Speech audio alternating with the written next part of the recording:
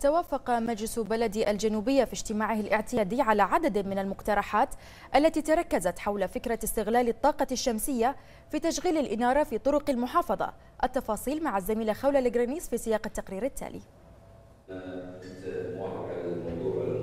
استعرض مجلس بلدي الجنوبية في جلسته الاعتيادية فكرة تشغيل الإنارة بالطاقة الشمسية في شوارع وطرق المحافظة الجنوبية وتضمن المقترح فكرة تطبيقها على شارع بغداد في مدينة عيسى على أن يتم تعميم التجربة في مختلف المرافق والطرق الرئيسية في حال نجاحها.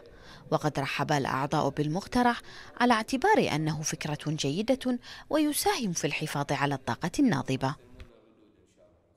إن شارع بغداد حطيناه كتجربة أولية على حق المقترح.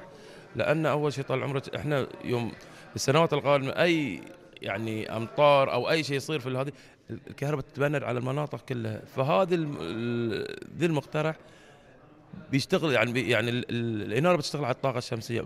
مو بنحتاج كهرباء في مقترحات سابقة صارت على المساجد وعلى الحدائق وعلى المدارس إن شاء الله وفي ناس تطبقت. بس كشوارع رئيسية أول شارع بيصير يعني في المحافظة الجنوبية اللي هو شارع بغداد وإن شاء الله يطبق ونشوف شنو مردوده من الناس.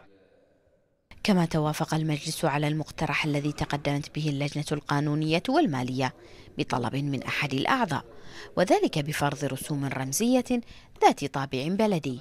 على مواقف سوق الرفاع المركزي والذي تعود ملكيته للبلدية. وتضمن القرار تسوير المواقف ووضع بوابة للدخول والخروج لتنظيم العملية.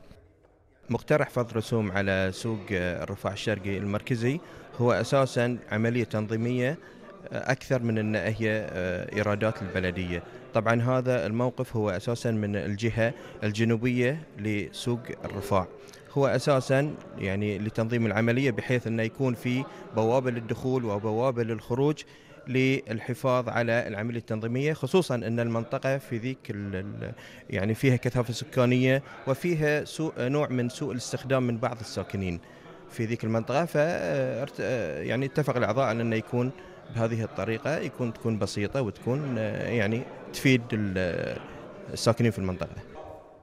من جانب آخر توافق الأعضاء على تغيير تصنيف أحد العقارات في منطقة الحجيات من سكن خاص إلى منطقة خدمات عامة لصالح وزارة العمل والتنمية الاجتماعية.